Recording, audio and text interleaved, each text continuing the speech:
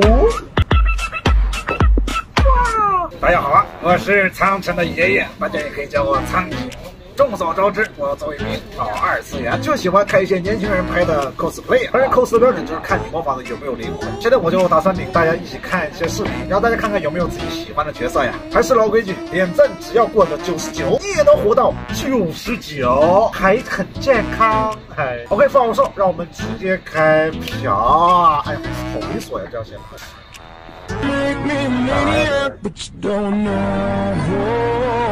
哎呦！呀，讲道理有欧美那味儿了啊！这好像是 cos 的是《第五人格》里面那个祭司吧？小姐姐妆容真的很很上心。不过最好你不要穿着这身出门，因为很容易被那些坏人跟踪啊！就真的前两天我还跟丢了几个。有没有可能我也能成为王者荣耀中的英雄人物？你要 cos 张飞啊，还是太上老君的弹幕？我要 cos 妲己。不可能！我的天！还是小胖妹子还是可爱的？主人，梦中有声音说，世界的本质是谎言。你能把重启和清除叫做归宿吗？还是挺可爱的。每个人都可以去 cos 自己喜欢的角色，只要你真心喜欢，不操师和观众们就肯定支持你，加油！啊，这不是小柔吗？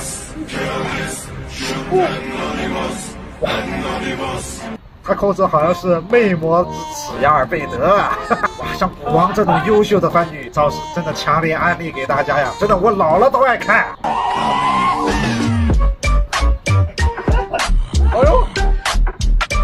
我，操！是心心念念的魅惑菇，他终于给我拟人化了，太棒了！我现在终于能理解那僵尸为什么会魅惑了。你看着这么好看的大妹子，你不心动吗？啊！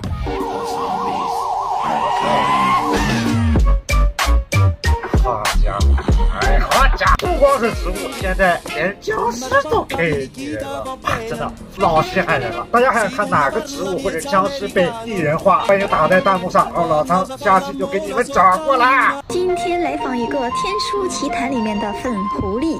哎呦，这年头害人这个天书奇谭呀，不容易，不容易。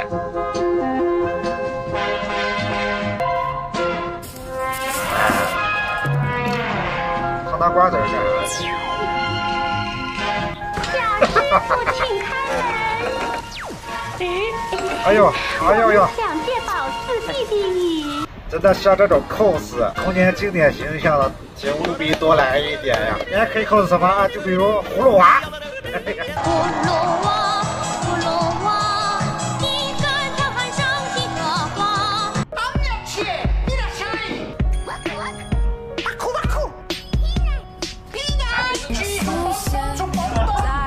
是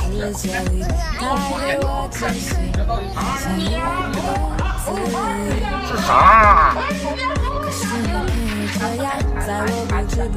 我我记得他，我记得他，瑞士死宅，他还活着呢。别看这个瑞士死宅整天在这卖骚，他在现实生活中是个银行高管，还有个如花似玉的女朋友。知道我跟这种人差距在什么地方啊？